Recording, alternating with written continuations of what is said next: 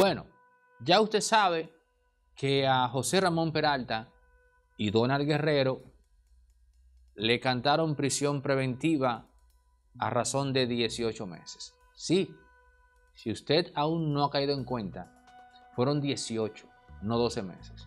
Usted sabe ya que a Gonzalo Castillo lo mandaron a prisión domiciliaria. Ese es el mal menor. Ahora, tenemos que pasar de inmediato a la reflexión, porque dígame usted, ¿de qué le sirve escuchar, saber que a Gonzalo prisión domiciliaria y a los otros dos prisión preventiva? Miren, en el caso de José Ramón Peralta, que es el que nos ocupa, él otrora flamante y poderoso, aunque evidentemente no tan poderoso como Gustavo Montalvo, pero bueno, ministro administrativo de la presidencia, este señor se le fue la lengua. Yo escuché parte de su participación frente a la jueza Kenia Romero en audios que habrán grabado fiscales, abogados, presentes en el conocimiento de esa medida de coerción.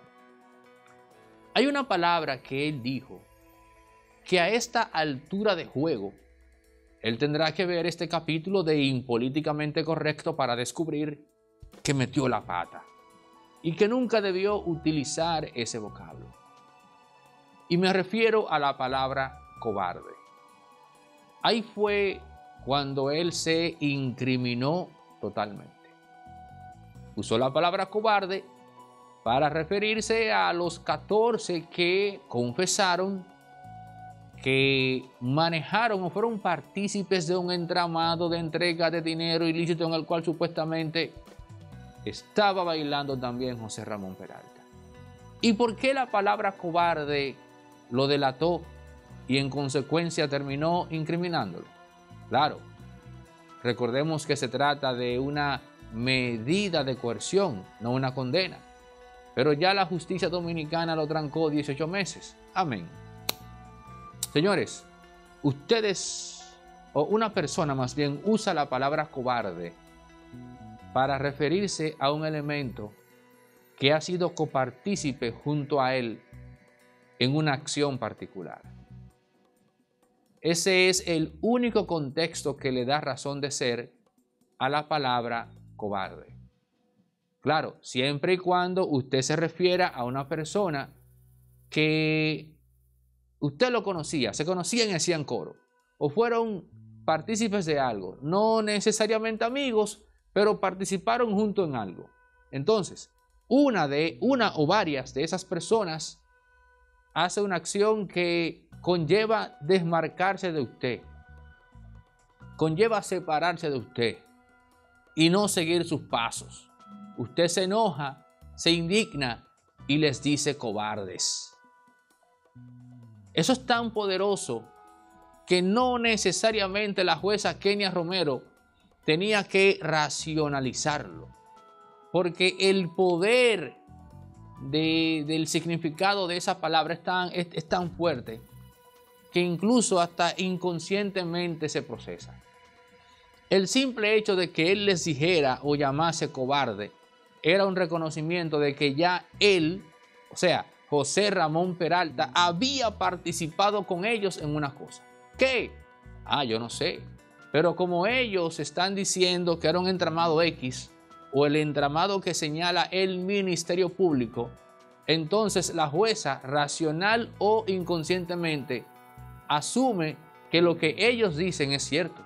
Porque en el momento que él les llama cobardes, ya está reconociendo que fue partícipes con ellos, muy posiblemente de cara al entendimiento de la jueza, precisamente en esa trama. Es por eso que la palabra cobarde lo delató y terminó metiéndolo al medio. Y usted se dirá, wow, pero ¿qué llevó a José Ramón Peralta a cometer esa pifia? Respuesta rápida y contundente, así como certera, la soberbia. Fue la soberbia de José Ramón Peralta lo que le llevó a soltar una palabra que lo comprometía. ¿Y por qué esa soberbia? Bueno, pues porque él no termina de procesar que Wilson Camacho y Jenny Berenice sean las personas que le estén ocasionando este malestar de vida ahora mismo. A él que era el pantocrator de República Dominicana, o al menos así se sentía, por encima incluso de Gustavo Montalvo, aunque en verdad él no lo era. Fíjense cómo, cómo, cómo Montalvo camina por el fango, ciertamente sin enlodarse. Ese sí que es un poderoso. Pero José Ramón Peralta hoy día se nos revela como un iluso, víctima de las dos personas más poderosas de este país, mucho más poderosas que el presidente, Jenny Berenice y Wilson Camacho. Porque si el presidente hace lo que hacen ellos dos, al otro día tiene que abandonar el Palacio Nacional. Sin embargo, ustedes aún no han caído en cuenta, pero nuestras vidas nuestra libertad, nuestra tranquilidad están en manos de Jenny Berenice y Wilson Camacho. Así de simple. Y lo reitero, los empresarios dominicanos están inquietos con esa realidad. No le perdonan a Luis Abinader que haya cometido la pifia que le dio tanto poder a Jenny Berenice y Wilson Camacho. Tanto poder que simplemente ambos se les fueron de las manos la soberbia de José Ramón Peralta, que todavía no puede procesar, no puede tolerar que esa muchachita, esa muchachita, le haya cercenado su libertad a él. No solo el ministro de la presidencia, o sea, el ministro administrativo. No solo eso. ¿O es que acaso ustedes creen que cuando José Ramón Peralta habló de su padre, de su esposa, de sus hijos, de sus empresas, de que tiene 37 años en el sector empresarial. ¿Ustedes creen que eso fue un asunto baladí? No. Eso fue echándole vaina a Jenny Berenice. Eso fue como decirle de manera, entre comillas, elegante, mira, mira tú, quién soy yo. Mira tú, de dónde yo vengo. ¿Cómo osas tú, muchachita, en pretender trancarme a mí?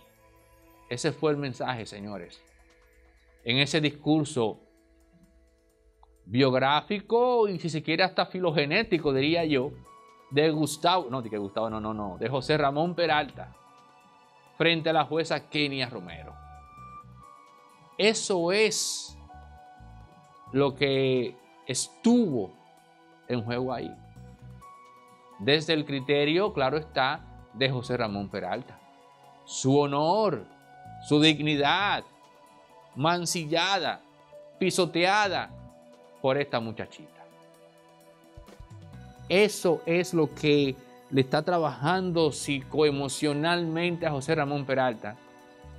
Y no creo que su soberbia le permita tener la madurez para procesar eso y saber en esa misma línea cuál es el auténtico juego que se está llevando con él ahora mismo. José Ramón Peralta debió pararse frente a ese micrófono con sangre fría y tranquilo. Y justo antes de decir la palabra cobarde, detenerse a pensar 10 segundos y decirse, no me conviene usar la palabra cobarde, porque se le dice cobarde a un elemento que tú conoces, que estuvo contigo en algo, que se echó en buen dominicano para atrás y no te queda más a ti que juzgarlo como tal, como un cobarde. Esa fue la palabra que lo incriminó, señores. Con toda seguridad, si él no dice eso, deja al Ministerio Público sin y, a, y a la jueza sin un elemento tangible directamente. En este caso, un tangible que quizás no es lo más adecuado.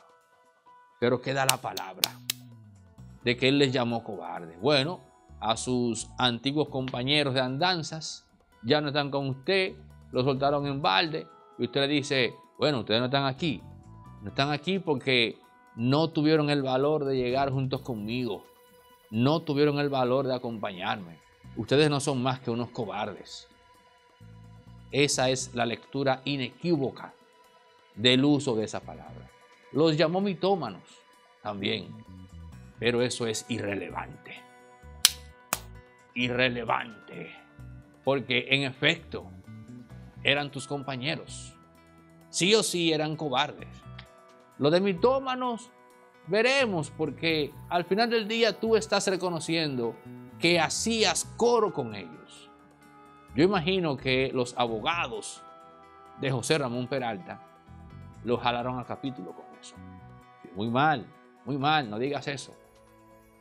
En síntesis, José Ramón Peralta y Donald Guerrero, 18 meses de prisión preventiva, Gonzalo Castillo, arresto domiciliario, y todo esto está desatando otros demonios y sobre ello vamos a hablar en otro capítulo. Ahora yo los dejo con los clasificados en donde tenemos un nuevo apartamento y una buena noticia por parte de Resorte Media. Les tengo una muy buena noticia de Farmacia Medicar GBC. Ya tiene su app. Vayan a Google Play y a la, tienda de, Android y también a la de Apple y descarguen desde ya la aplicación de Farmacia Medical GBC. Ahí podrán seguir disfrutando a partir de compras de 300 pesos del 20% de descuento en todos sus medicamentos. La Farmacia Medical GBC llega a tu celular. Descarga la app y pide tus medicamentos a través de ella. Farmacia Medical GBC, la de nosotros los dominicanos. Señores, hay que, hay que recordarte que nadie te hace millonario más fácil que Lotedon. Con tan solo 20 pesitos eh, pegas cuatro números y te puedes sacar los 25 millones del Agarra 4 de Lotedon. En Resorte Media, todo lo que tiene que ver con audiovisual está a nuestro alcance, desde un infomercial, un documental, videos de inducción, actividades empresariales, personales como bodas y cumpleaños. Todo lo hacemos posible. 829-741-3061. Número en pantalla 829-741-3061 para que te contactes con nosotros y hacer realidad eso que tanto quieres hacer que para ti y para los demás se vea y se escuche. Resorte Media. Nunca hay una segunda oportunidad para una primera buena impresión. Y acá en Resorte Media eso lo tenemos más que claro. 829-741-3061. Dinos qué es lo que quieres filmar o grabar y ahí estaremos por y para ti. Señores, tenemos un nuevo apartamento acá en Resorte Media y este es para una sola persona. Están viendo las fotos, es una propiedad bellísima, cómodo y atractivo apartamento amueblado de una habitación cerca de la George Washington y la zona universitaria. Son 70 metros, un segundo nivel con balcón, cocina, una habitación, un baño, ascensor, medio baño de visita, gas común. Hay que decir que el edificio tiene piscina, gimnasio y terraza común. Un precio de alquiler bastante asequible, apenas 750 dólares Así que ahí están las fotos, este apartamento bellísimo, tiene vista al mar, por cierto, miren eso, bastante tranquilo. Pueden comunicarse al 829-741-3061 con Charina Hernández, quien le dará todos los detalles. 829-741-3061.